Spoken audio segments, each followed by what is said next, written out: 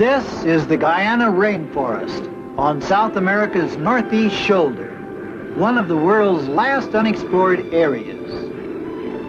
Far in the remote interior of this wild land stretches a vast opening in the covering jungle. On these isolated savannas, reached only by air, lies the Dadanawa, one of the largest cattle ranches in the world. Here in the surrounding jungle is found one of South America's rarest and most unusual wild animals. Welcome to Mutual of Omaha's Wild Kingdom. Hi, WK. Stan Brock has spent many years managing the huge Dadanawa Ranch and studying its wildlife. But one animal he has never seen is the giant armadillo, a rare mammal unchanged since prehistoric times. I joined Stan as he returned to Guyana, and together we flew to the ranch in search of this elusive animal found only in the tropical rainforests of South America.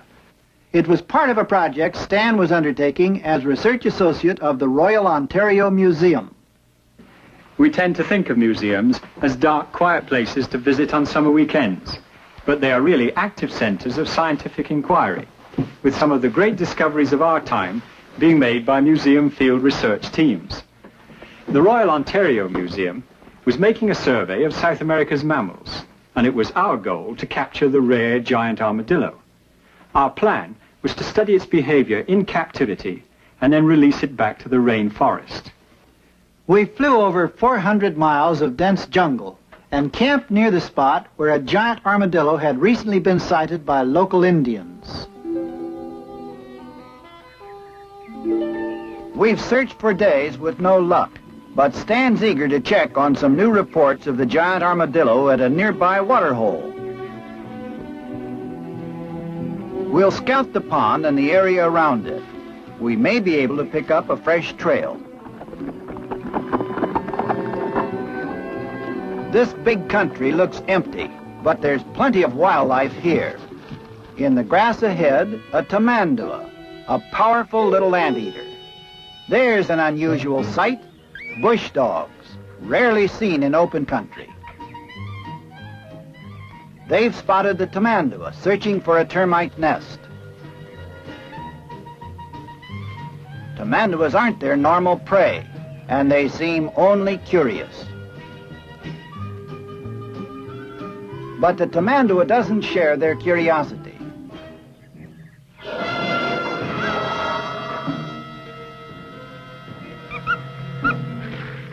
Bush dogs can be fierce beyond all proportion to their slight stature. The Tamandua, too, is a deadly infighter. Its dagger-like claws are powerful enough to tear open rock-hard termite nests, and they can slash open a charging enemy.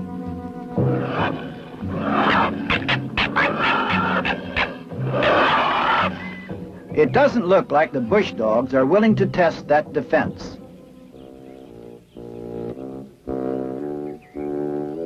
No sign of our quarry. But there's a smaller relative, the naked-tailed armadillo. They've seen the armadillo too. The giant we're after is many times this size. Again, this is not usual prey for the bush dogs, and they approach cautiously.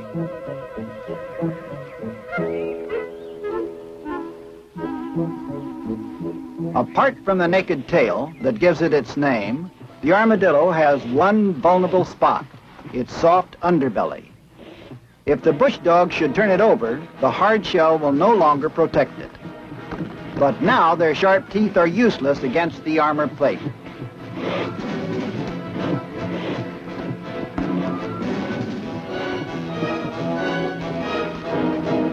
The dogs are too many and too strong, and the armadillo has only one defense now, to dig out of reach but it can't make much headway in this hard sun-baked soil.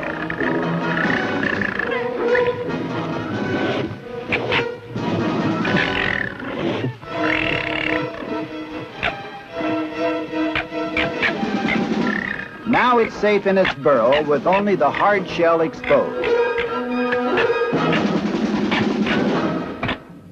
There's a familiar sight moving towards us. A Dadanawa cattle drive. During the years I managed the Dadanawa, I led many of these drives, and they're unlike roundups anywhere else.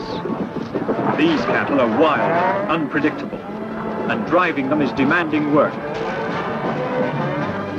I've always found this an extremely risky operation, crossing the Rupununi River. If they panic, many could drown. Marlin spotted a movement on an upstream bank, a crocodile entering the water. This could be trouble. If the leaders bolt, the herd will follow. He's coming this way. I've got to keep the leaders from being spooked. This shallow bank is the herd's only exit. If they head downstream, they'll be trapped in deep water by the high, steep shore.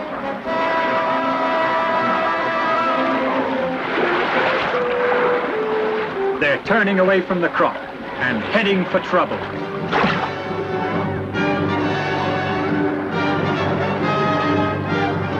I've got to turn them back. The Indian vaqueros are at the rear of the herd. They're no help now. It's no use. They're coming ashore too far downstream. That bank is too high, and they're piling up.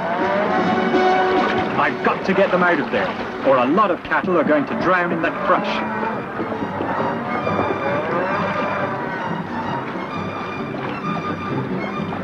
They're crowding against the bank, and they can't climb out fast enough. The only hope is to try to head them upstream, where the shore isn't so steep.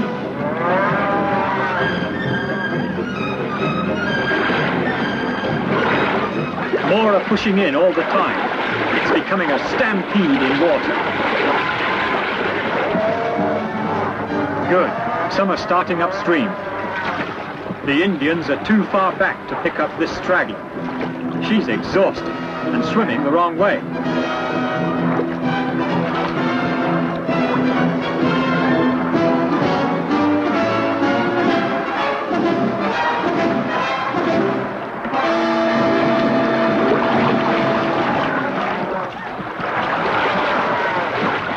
They're all finally headed the right way. If I can just keep them from turning back downstream, they can climb the shallow bank without a traffic jam in deep water.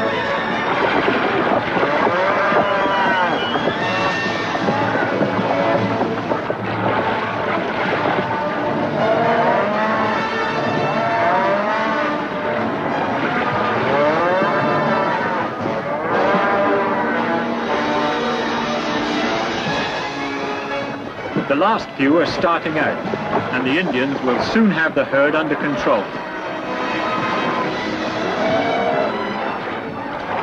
Here's an exhausted calf that needs some help.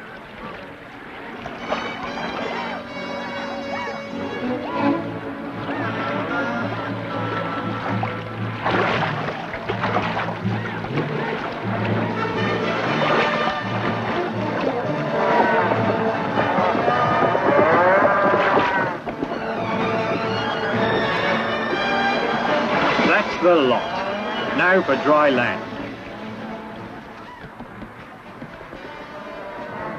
We didn't lose a single steer, and we might easily have lost 50 or 60 head. The Indian vaqueros rescued my horse from the panicked herd. It's probably as exhausted as I am, but we haven't much farther to ride till we reach the water hole where we'll continue our search for the armor-plated giant.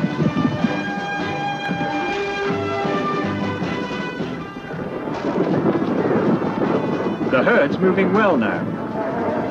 We're no longer needed here, and it's time we looked for the giant armadillo. The giant armadillo had been seen several times at a nearby waterhole, and our plan was to wait there and see if he would come to us. The dry season's beginning now, and there should be many animals near the water ahead. We don't want to spook them and alarm the giant armadillo if he's still there. The bush dogs are searching for game trails along the bank. They've got company, a giant anteater. They'd better avoid this fellow. He's big and dangerous. They're going after him. Luckily for the dog, the anteater doesn't choose to turn and fight, with escape so close at hand.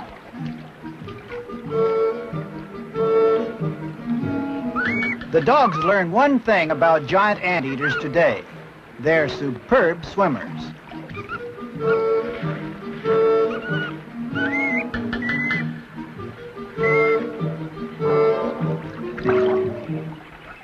More animals are moving down to the waterhole, coatimundis. Coatis hunt equally well in trees or on the ground, moving along with their tails high in the air and their long, sensitive noses busily at work. Now the dogs have seen the coatis, but these are animals they'd better treat with respect. Coatis are tough and aggressive fighters.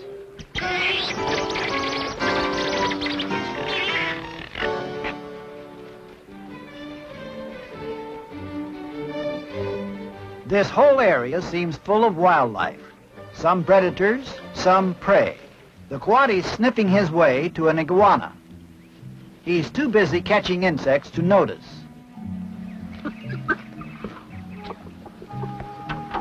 These big lizards are sometimes hunted by coatis, but this coati doesn't act like he's ever seen an iguana before. Maybe it's the wrinkled skin or bright green color that seems so strange.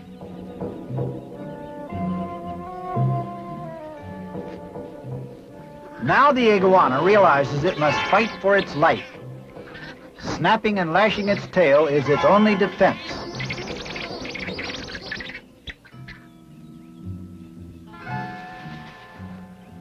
The iguana is lucky Today, the coatis are interested in easier prey.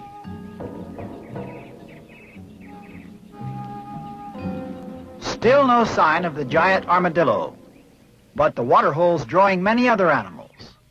In a tree just ahead, another iguana suns itself. Someone else has spotted it too, a tayra.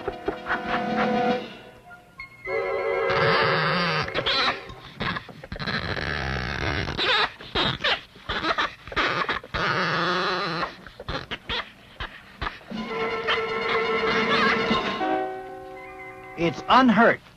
Often iguanas will leap from trees to escape a predator. The tayras take the long way down as the iguana makes good use of its head start. Light buff-colored tayras like this one are rare. I've only seen a few. Normally the fur is dark colored. He's stalking something. A boa constrictor. Tayras are fearless predators, but this is dangerous prey. The boa's been waiting in ambush for animals coming in to drink. Now it's being challenged.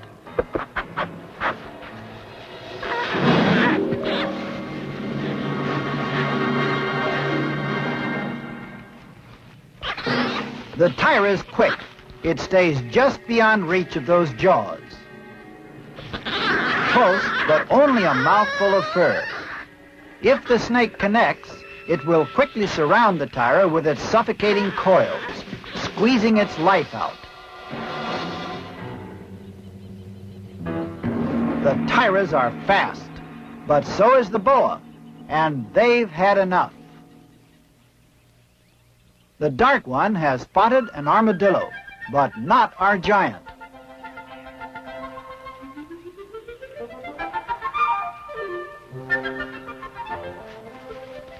It doesn't seem disturbed by the tayra's approach. This is the nine-banded armadillo, an excellent digger. It would quickly burrow out of sight if it really felt threatened. Bigger than the naked-tailed armadillo, it's still less than one-fifteenth the size of the giant armadillo that we're after. Now he's getting annoyed.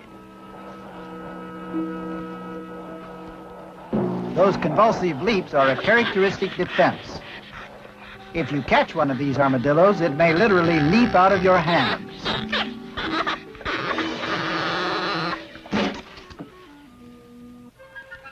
He's heading for the forest, probably where his burrow is dug.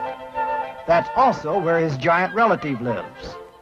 We've had no luck here, so we'll ride along the forest edge and continue our search for signs of the giant armadillo.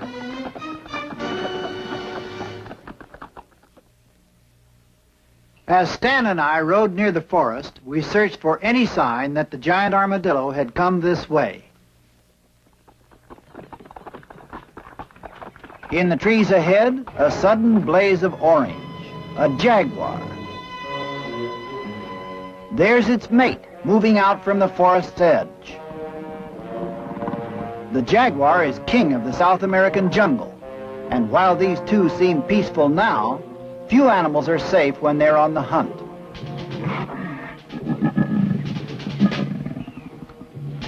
They're immensely powerful and often take prey many times their size.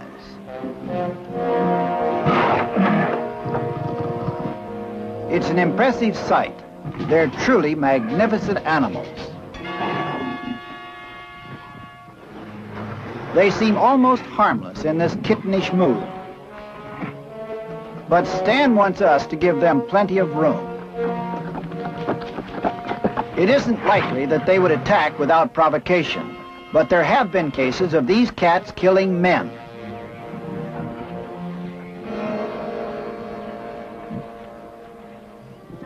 We've seen fresh armadillo tracks, and they lead to some thick brush ahead.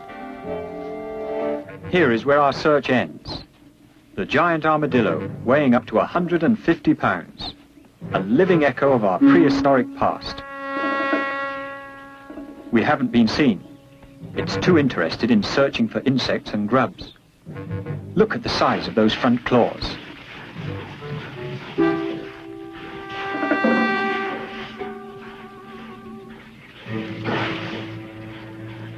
They're fantastic diggers, and they can burrow underground quickly when threatened anchoring themselves tightly in their hole with only the hard shell exposed. Doesn't seem to be having much success hunting for a meal here. Looks like he's going to try his luck elsewhere. These animals only leave the dense forest infrequently. If he heads back into the jungle, we may lose him. This is a break. He's moving into the open, away from the forest. There's not much cover here, and we should be able to stay with him. His eyesight is poor, and I don't think he's seen us yet. Now we've got our chance. He's entering a wide open marsh. If I can just chase him down.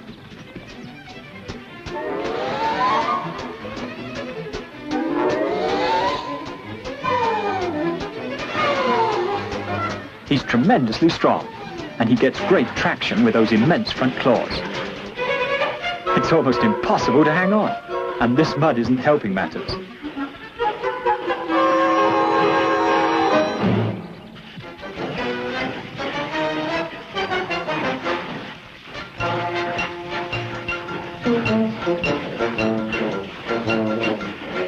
He's trying to dig in.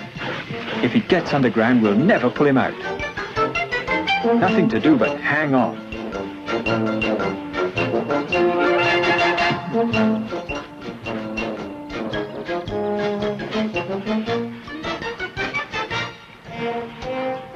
It's like trying to catch a greased pig.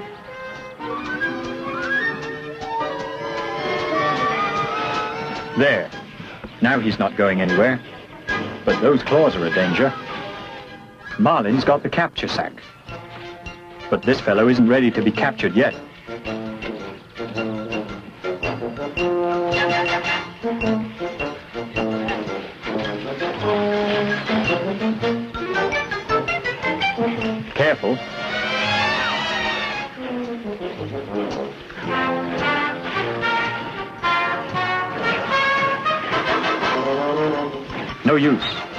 Can't work it past those claws.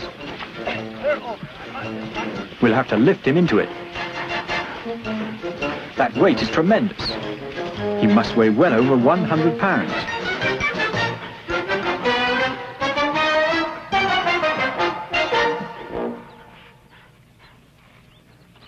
We've got our giant armadillo, and he's a big one.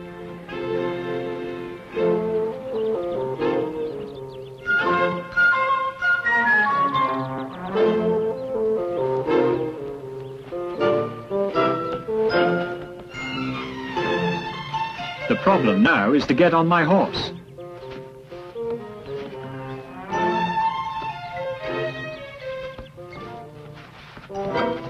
It would help if he'd stand still.